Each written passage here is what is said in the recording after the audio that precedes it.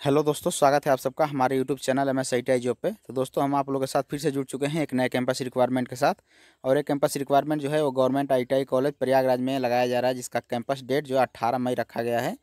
तो मैं आप लोग को जानकारी के लिए बता दूँ कि इसमें आईटीआई के ऑल ट्रेड जो है एलिजिबल रहने वाले हैं। और इसमें एज लिमिट आपका जो रहेगा, अट्ठारह से पच्चीस साल रखा गया है। सैलरी भी आपको सत्तर हज़ार पर मंथ जो है प्रोवाइड की जाएगी। और निःशुल्क भर्ती प्रक्रिया है। तो चलिए दोस्तों, हम आप लोगों को बताते हैं कि इसमें क्या क्राइटेरिया क्या एज लिमिट और क्या क्वालिफिकेशंस रखे गए हैं और कौन सी कंपनी है।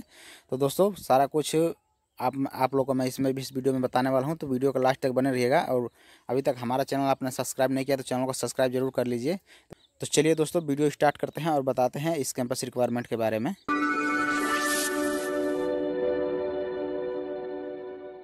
तो आप लोग देख सकते हैं, राजकीय औद्योगिक प्रशिक्षण संस्थान नैनी प्रयागराज में इस कैंपस प्लेसमेंट का आयोजन किया जा रहा है और ये सूचना जो है तेरह मई को जारी किया गया था और इस सूचना, इस कैंपस प्लेसमेंट से रिलेटेड जो सूचना जारी किया है, गया है तो वो लिख रखा है आपको कि सूचित किया जाता है कि अट्ठारह मई को राजकीय औद्योगिक प्रशिक्षण संस्थान नैनी प्रयागराज के प्रांगण में निम्न कंपनी द्वारा आईटीआई उत्तीर्ण पुरुष अभ्यर्थी के लिए कैंपस सिलेक्शन का आयोजन किया जा रहा है, जिसमें लिखित परीक्षा और इंटरव्यू के माध्यम से आपका सिलेक्शन किया जाएगा।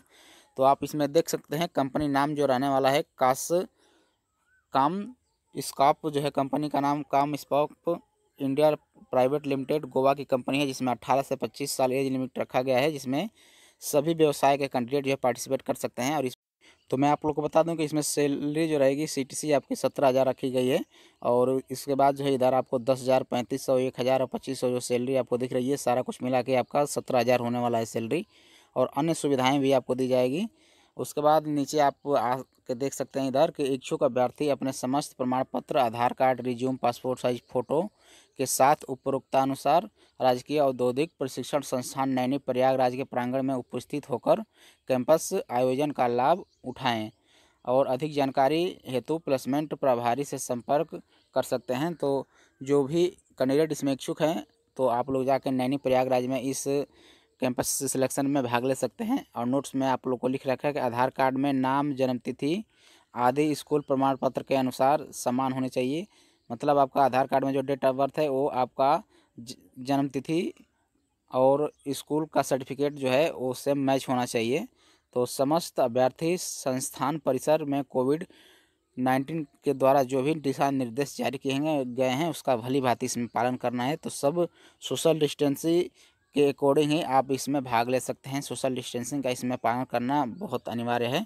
और ये जो सूचना है, ये government, ITI, college, Naini Prayagraj के माध्यम से जो है इस सूचना जारी किया गया है, जिसमें 18 मई को इस कैंपस का आयोजन किया जा रहा है। तो जो भी इच्छुक उम्मीदवार हैं, अगर इसमें पार्टिसिपेट करना चाहते हैं तो वो लोग भाग ले सकते हैं।